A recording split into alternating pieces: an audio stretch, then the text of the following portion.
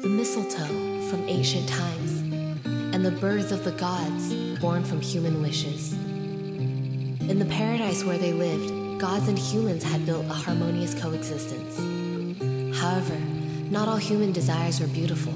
Finally, there came the time, for the sake of their own happiness, someone wished for the less fortunate to exist. And thus, the first bird was born. But behind that bird, who sang of the happy mornings to come, was another, a bird who crooned through solitary nights with a sorrowful voice.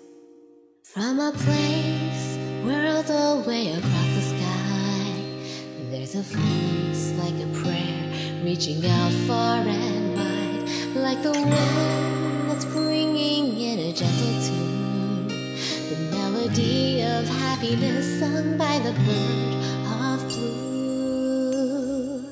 See the crimson flames that rain havoc upon the land as they burn deeper than the sunset's descent, moving forth the endless cycle of life and death.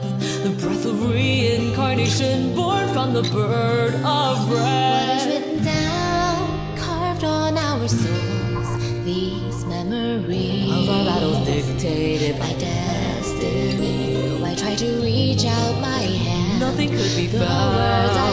Like the feathers ripped from my wings, torn away, we fell to the ground. As their song travels seeking each other. Colors mixing in with two souls become now together. Although when they meet, the birds of they